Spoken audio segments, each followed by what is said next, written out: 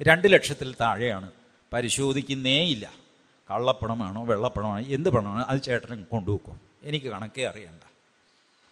രണ്ട് മുതൽ പത്ത് വരെ ആണെങ്കിൽ ശിക്ഷയൊന്നുമില്ല. പക്ഷേ എങ്ങനെ ഈ കാശ് വന്നു എന്ന് ഞങ്ങളതൊന്ന് അറിയിക്കും. സോഴ്സ് ഒന്ന് അറിയാൻ വേണ്ടി മാത്രം.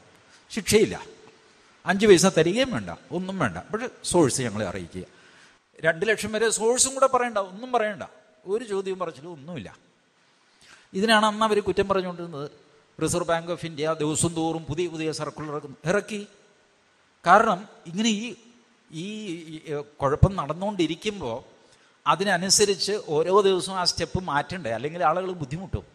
ബുദ്ധിമുട്ടുണ്ടാവാതിരിക്കാനായിട്ടാണ് ഓരോ സർക്കുലറായിട്ട് ഇറക്കിയത്. ഇത് ചെയ്തു. ഇത് കഴിഞ്ഞിട്ട് അടുത്ത ഒരവസരം കൂടെ കൊടുത്തു. ഇനിയും ആരെങ്കിലും കാശ് ബാക്കി വെച്ചിട്ടുണ്ടെങ്കിൽ ബാങ്കിലേക്ക് കൊണ്ടുവരിക. അൻപത് ശതമാനം സർക്കാർ എടുക്കും. ഇരുപത്തഞ്ച് ശതമാനം നിങ്ങൾക്ക് എടുക്കാം ഇരുപത്തഞ്ച് ശതമാനം പിന്നെയും നാല് ശതമാനം പലിശയ്ക്ക് അഞ്ച് വർഷത്തേക്ക് ലോക്കിൻ പീരീഡ് എന്ന് പറയും. അഞ്ച് വർഷത്തേക്ക് ബാങ്കിൽ കിടക്കും. ഒരു ശിക്ഷയുമില്ല പിഴയില്ല ഒന്നുമില്ല. ഇനി ഇതും കഴിഞ്ഞിട്ട് എന്റെ കയ്യിൽ പെട്ടാൽ പിന്നെ പ്രശ്നമാണ്. ബേനാമി ആക്ട് എന്ന് പറഞ്ഞിട്ട് ഒരു ആക്റ്റും പാസ്സാക്കി. ഏത്? എന്റെ വസ്തു എടുത്തിട്ട് പൈമാമന്റെ പേരിലെഴുതി പൈമാമനത് എടുത്തിട്ട് പൈമാമന്റെ പേരിലെഴുതി ഇങ്ങനത്തെ കളിയുണ്ടല്ലോ? ഈ കളിയെല്ലാം പിടിക്കുന്നതാണ് ബെനാമി ആക്ട്. അതും പാസ്സാക്കി. അപ്പോഴത്തേക്ക് എല്ലാവരും എന്ത് ചെയ്തു? ഏകദേശം നോട്ടെല്ലാം കൊണ്ടുചെന്ന് ബാങ്കിൽ കൊടുത്ത് എന്റെ പൊന്നിയേട്ട ന്യായമായിട്ടുള്ളത് തന്നേക്ക്. ബാക്കി ഇവിടെ കിടക്കട്ടെ നാല് ശതമാനം പലിശ മതി. പ്രാണൻ രക്ഷിക്കുക ജയിലിൽ പോകണ്ടല്ലോ. ഇതാണ് ഈ നോട്ടെല്ലാം തിരിച്ചു വരാൻ കാര്യം. ഇപ്പോൾ കോൺഗ്രസും കമ്മ്യൂണിസ്റ്റും ഒക്കെ പറയാറില്ലേ? എല്ലാ നോട്ടും തിരിച്ചു വന്നു അപ്പോൾ പരാജയപ്പെട്ടില്ല? പരാജയപ്പെട്ടില്ല? വിജയിക്കുക ചെയ്തത്. ആർക്കും ആർക്കും കേടില്ലാതെ ഈ ഏർപ്പാട് കള്ളപ്പണം ഇല്ലാതെയാക്കി എന്നുള്ളതാണ് മോദിയുടെ വിജയം.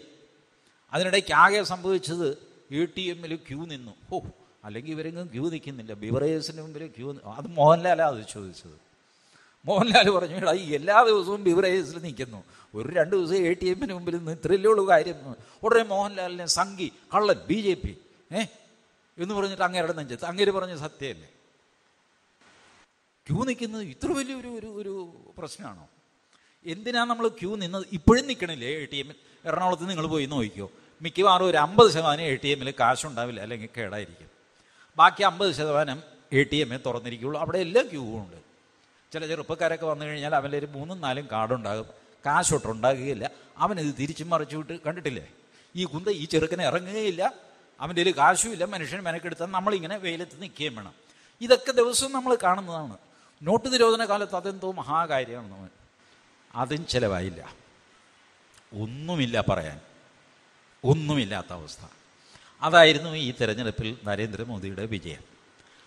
ചെയ്തത് മാത്രമല്ല അദ്ദേഹം തെരഞ്ഞെടുപ്പ് മെല്ലെ ഇപ്പോൾ കഴിഞ്ഞ ഒരു രണ്ടാഴ്ചയായിട്ട് നടന്ന പ്രചരണം നിങ്ങൾ ആലോചിച്ചു. കേരളത്തിലെ തെരഞ്ഞെടുപ്പൊക്കെ കഴിഞ്ഞത്. ഇപ്പോൾ ഉള്ള ഒരേ ഒരു ചോദ്യം ഇതാണ്. മോദി വേണോ വേണ്ടയോ തീരുമാനിക്കുക? ബാക്കി എല്ലാ ഇഷ്യൂസും കഴിഞ്ഞു. റഫാൽ കിഫാൽ മറ്റത് മണ്ണാങ്കട്ട എല്ലാം. റഫാൽ എന്നൊക്കെ പറഞ്ഞിട്ട് അവതാനും സുപ്രീം കോടതി വിളിച്ചിട്ട് എന്താണ് ചേർക്കുക ചെയ്യും. അല്ല അത് ഞാൻ ഓർക്കാതെ പറഞ്ഞു. ഓർക്കാതെ പറഞ്ഞു മാപ്പെഴുതി വെച്ചിട്ട് പോടാൻ ഇപ്പം എന്നിട്ട് ഇരുപത്തിരണ്ട് പേജ് എഴുതിക്കൊണ്ട് എന്നിരിക്കുന്നു സുപ്രീം കോടതി പറഞ്ഞു ഇരുപത്തിരണ്ട് പേജിലാണോ മാപ്പെഴുതുന്നത് മാപ്പെഴുതാൻ ഒറ്റ ലൈൻ മതി. ഞാൻ പറഞ്ഞത് തെറ്റാണ്. മാപ്പാക്കണം. ഇനി മേലിൽ ആവർത്തിക്കില്ല. കഴിഞ്ഞു. അതിന് പകരം ഇരുപത്തിരണ്ട് പേജ് ഗീർവാണ അടിച്ചുകൊണ്ട് പോയി. എടുത്തോണ്ട് പോടാൻ ഇനിയിപ്പോൾ ദേ നാളെ നാളെ. അല്ലേ ആറാം തീയതി. ആറാം തീയതി വീണ്ടും ഒന്നിൽ ത അത് എഴുതി തന്നാൽ തന്നെ ഞങ്ങളത് സ്വീകരിക്കുമെന്ന് ഉറപ്പൊന്നുമില്ല എന്ന് പറഞ്ഞ് വിരട്ടി വിട്ടിരിക്കുക. റാഫേലും കൊണ്ട് നടന്നതാണ് ചങ്ങാതി. ഞാനും ആലോചിച്ചോട്ടെ ഈ റാഫേൽ റാഫേൽ ഇയാൾ ഈ ഗുണ്ടടിച്ചുകൊണ്ട് നടന്നിട്ട് മോദിയും ചോദിക്കുന്നില്ല. അനിൽ അംബാനിക്ക് മുപ്പതിനായിരം കോടി രൂപ കൊടുത്തു എന്നാണ് ഇയാൾ പറയുന്നത്. മുപ്പത് മുപ്പത്തഞ്ച് നാൽപ്പതൊക്കെ തരം പോലെ പറയുന്നുണ്ട്. നിങ്ങളൊന്ന് ആലോചിച്ചു കേരളത്തിൽ ബാർക്കോഴ കെ എം മാണിയെ പിടിച്ചത്. എന്തിനായിരുന്നു? മാണി മന്ത്രിയായിരുന്നപ്പോൾ ബാറ് തുറക്കാനോ തുറക്കാതിരിക്കാനോ വേണ്ടിയിട്ട് കാശ് മേടിച്ചു. ബിജു രമേശിന്റെ കയ്യിൽ നിന്ന്. ആണേ. ബാബു കെ ബാബു എക്സൈസ് മന്ത്രിയായിരുന്നു ബാറ് തുറക്കാനും തുറക്കാതിരിക്കാനുമായിട്ട് കാശ് മേടിച്ചു. ലാവ്ലിൻ പിണറായി വിജയൻ കാശ് മേടിച്ചു. പാമൂലിൻ കരുണാകരനും ഉമ്മൻചാണ്ടിയും കാശ് മേടിച്ചു. ഇതാണ് സാധാരണ രാഷ്ട്രീയക്കാരുടെ അഴിമതി. ഒരു കാര്യം ചെയ്യാൻ വേണ്ടിയിട്ടോ ചെയ്യാതിരിക്കാൻ വേണ്ടിയിട്ടോ കോൺട്രാക്ടർമാരുടെയോ അല്ലെങ്കിൽ അല്ലാത്തവരുടെയോ വ്യവസായികളുടെ കയ്യിൽ നിന്ന് പണം മേടിക്കുക. ഇതല്ലാതെ കാശ് അങ്ങോട്ട് കൊടുക്കുന്നത് നിങ്ങൾ കേട്ടിട്ടുണ്ടോ? ഞാൻ ആദ്യമായിട്ട് കേൾക്കുന്നത് ഇങ്ങനൊരു അഴിമതി.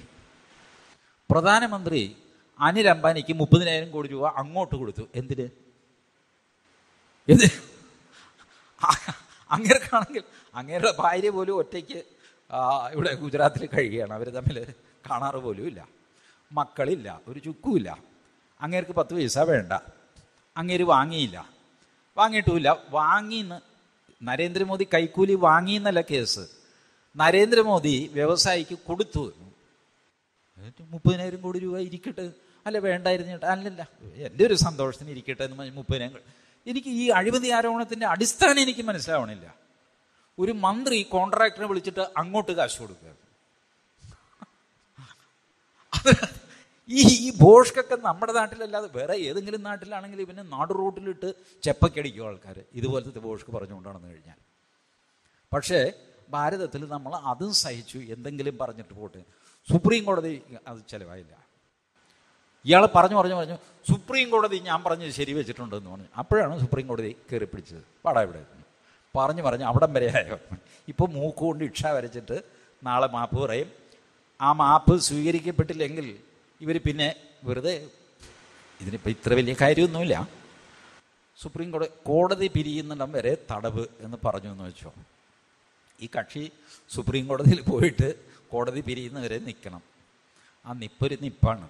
ഞാൻ ഇടയ്ക്കിടയ്ക്ക് പോയി നിൽക്കാറുള്ളത് കൊണ്ട് എനിക്കറിയാം. അതിന്റെ വിഷമം.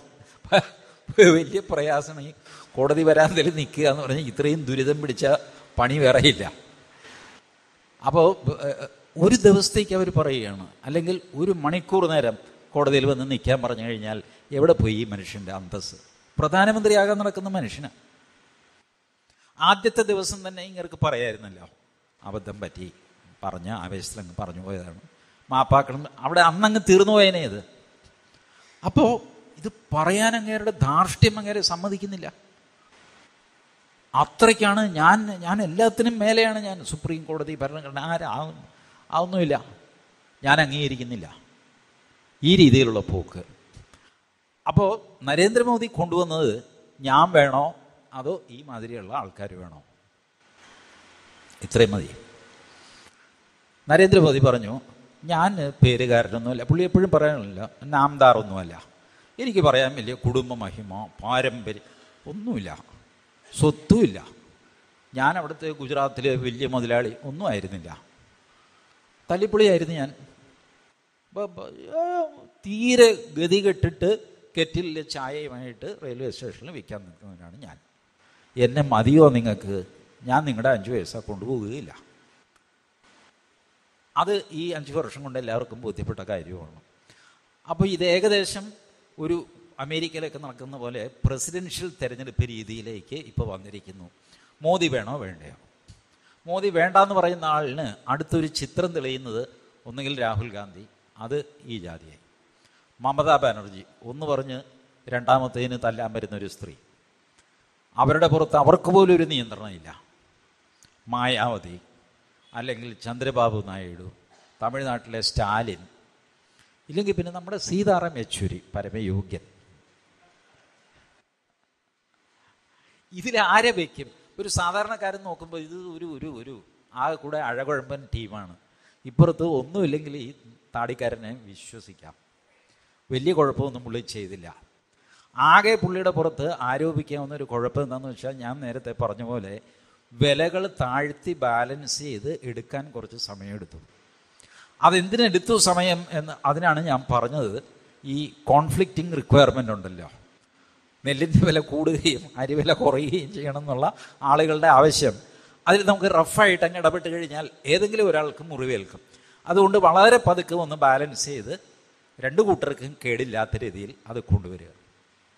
ഇപ്പം നിങ്ങൾ നോക്കുന്നേ ഒരു എസ് എം എസ് കൊടുത്തു കഴിഞ്ഞാൽ മിക്കവാറും മൂന്നാം പക്കം ഗ്യാസ് കുറ്റി വീട്ടിലെത്തുന്നില്ലേ? ഏ പനയപ്പള്ളി ചുള്ളിക്കൽ അവിടുത്തെ ഗ്യാസ് ഏജൻസിയിൽ ഓട്ടോറിക്ഷയായിട്ട് ഞാൻ പോയി കാവൽ കിടന്നിട്ടുണ്ട്. ലോറിയിൽ നിന്ന് സിലിണ്ടർ താഴത്തേക്ക് ഇടുമ്പോൾ ഒരു സിലിണ്ടർ വലിച്ച് ഇതെനിക്ക് വേണമെന്നും പറഞ്ഞ് വഴക്കുണ്ടാക്കി കൊണ്ടുവരേണ്ട അവസ്ഥയായിരുന്നു. അതിപ്പോൾ പോയില്ലേ?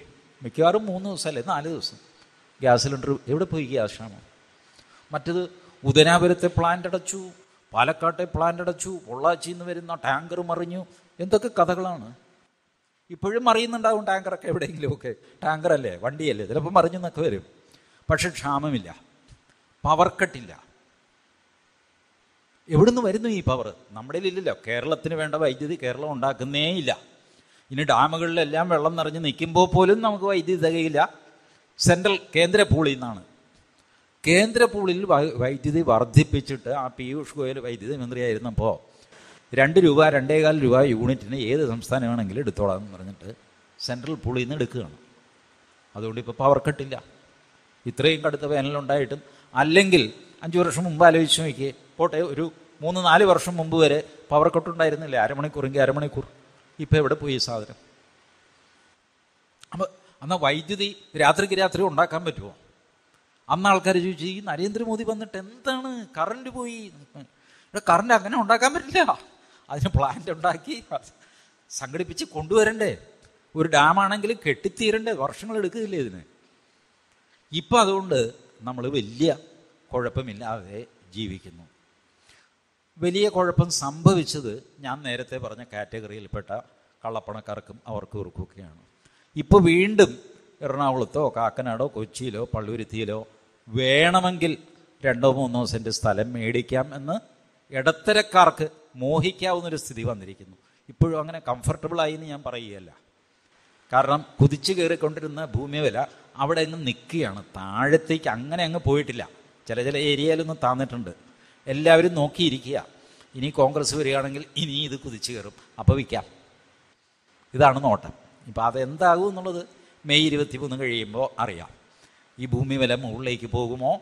പച്ചക്കറിയുടെ വില മുകളിലേക്ക് പോകുമോ?